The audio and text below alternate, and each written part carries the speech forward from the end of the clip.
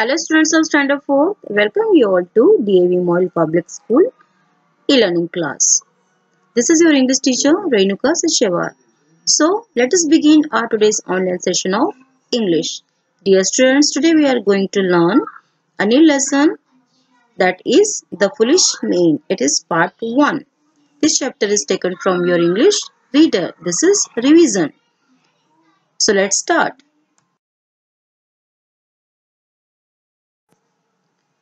The name of the lesson is The Foolish Man. This is a drama or a play. This is scene 1. Emperor Akbar's court. Emperor it means king. Akbar smiling and said, Birbal, do you think you can find me the five most foolish men in Agra?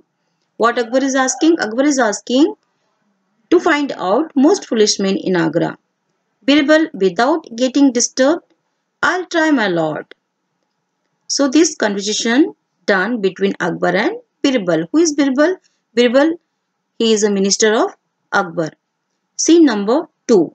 Birbal is walking through the street of Agra, looking around carefully. He sees a man lying on his back in a puddle of water, his arms stretched wide above his head as you have seen in this picture. Birbal asked that man who was lying on his back in a puddle of water and his arms stretched wide above his hand. What does what is the meaning of puddle? Puddle it means a small pool of water, especially rainwater. So what he asked? He asked, what are you trying to do? The man replied, I'm trying to stand up. I slipped and fell into this puddle while I was on my way to buy some clothes for my wife. Then Birbal said, Why don't you use your hands then? The man replied, But I can't do that. If I change the position of my hands, I lost the measurement of the length of cloth my wife wants. Birbal holds the fellow by the hair and sets him on his feet. After that, the man said, Thank you, thank you, his arms still above his head. You have really helped me. Birbal said to him, Please come with me. It means Birbal got first foolish man.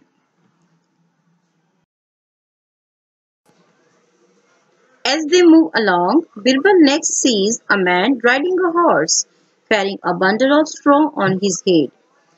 When he saw him, Birbal asked, Why do you carry that straw on your head?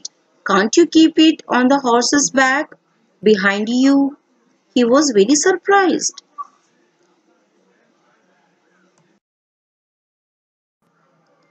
Second man replied, But I can't do that, sir. This horse is very old and very weak.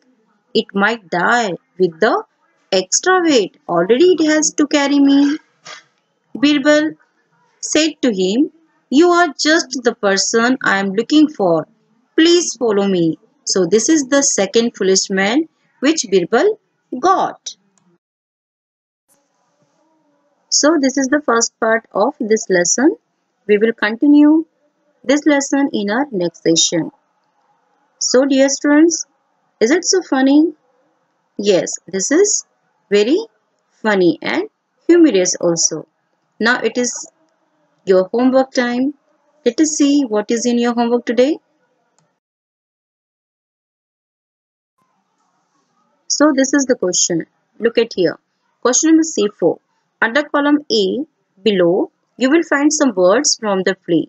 And under column B, their meanings. Match the meanings and the words.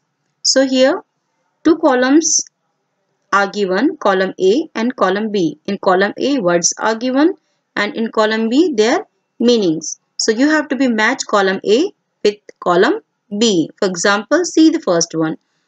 Puddle. Okay, what does it mean? Puddle, it means a small pool of water, especially rainwater. Okay, so this is the correct meaning of this word. So you will match first word with the fourth one. See the second, bundle. Okay, so what does it mean? Bundle, it means